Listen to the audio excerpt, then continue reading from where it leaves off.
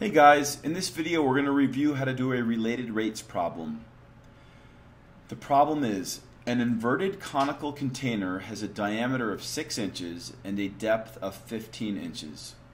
If water is flowing out of the vertex of the container at a rate of 2 pi cubic inches per second, how fast is the depth of the water dropping when the height of the water is 10 inches?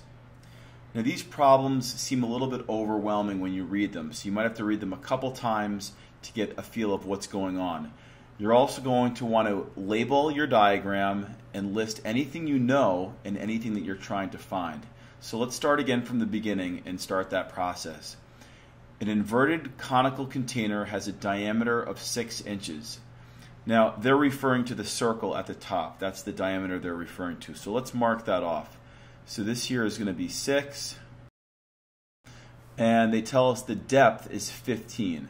So the depth would be the height of this conical container.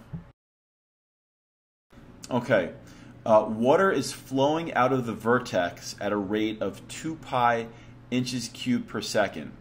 So the fact that the units are cubic inches tells me that this has to do with the volume.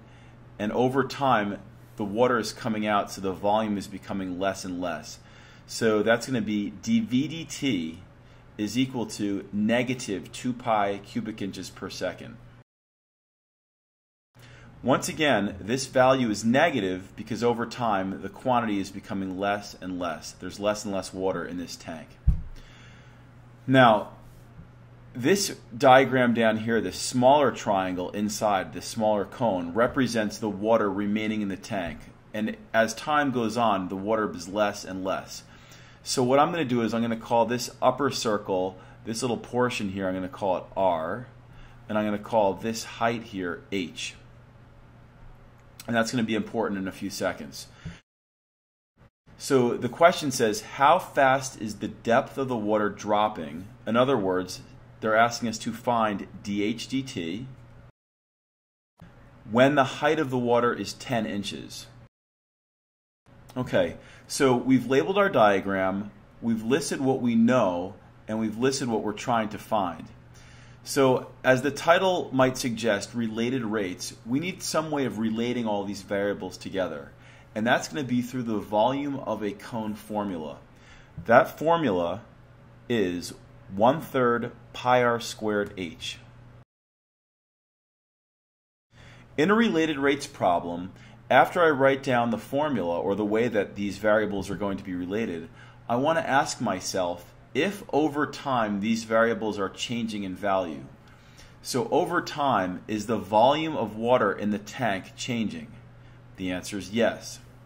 Over time, is this the radius of this upper circle changing? And the answer is yes. And over time, is the height of the water remaining changing? And the answer is yes. If something's changing over time, we cannot plug in to the formula until we've taken a derivative.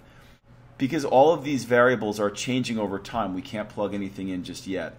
But the problem is we have these two variables here, and it would be much easier if there was just one variable.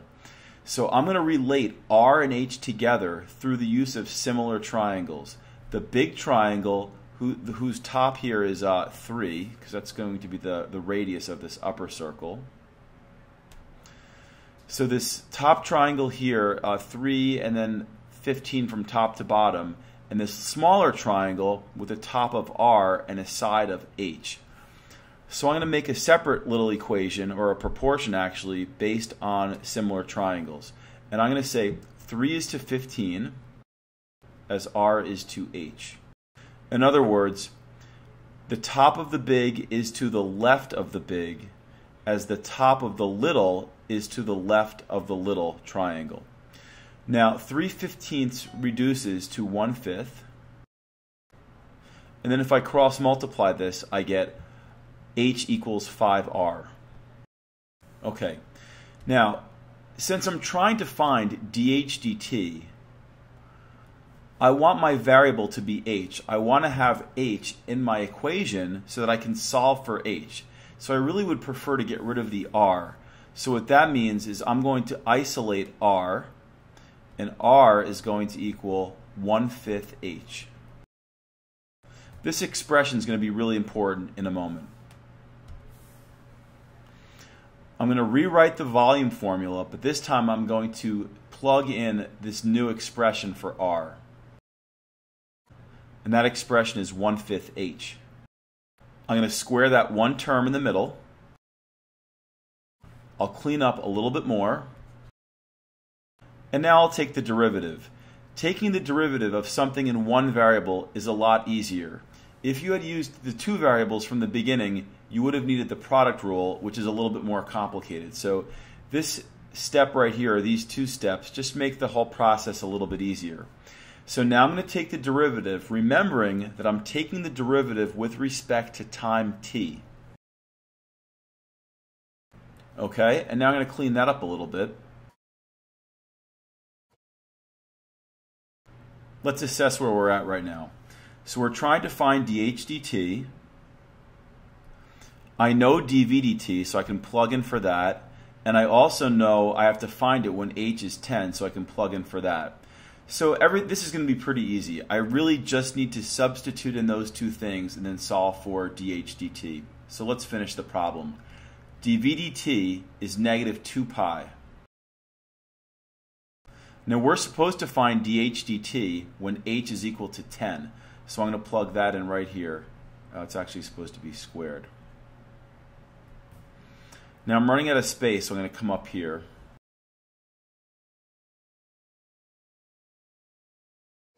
The pi's cancel out.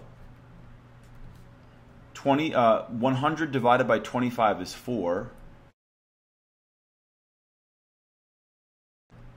And when you're done, you want to think about what your units are going to be.